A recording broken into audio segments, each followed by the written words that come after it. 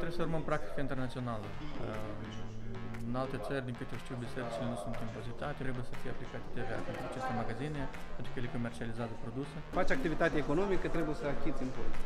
În anumite biserici, unde se vând uh, fără bon de casă, fără nimic. Fac ce trebuie să existe o abordare așa mai, mai complexă. Deci dacă să mergem în ansamblu, trebuie de văzut și statutul lor uh, care există, nu doar de cel că este pastorul unei comunități. Nu este o idee rea, se practică și în alte țări.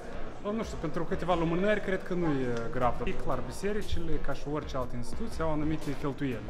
Dacă se strâng mult mai mulți bani decât aceste necesități, este o întrebare. Știm că mari, mari rulaje de, de bani nu mai sunt acolo, adică un leu, doi acolo câte e o, o lumânare. Dacă este să, fiu, să îmi dau părerea ca cetățean, evident că eu nu aș deci acolo este o altă lege, este un lucru mai, mai spiritual.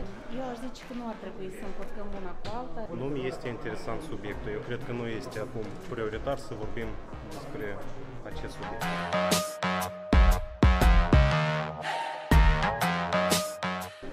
Eu cred că acest lucru trebuie să vină de la cetățeni, de la Enoreaș.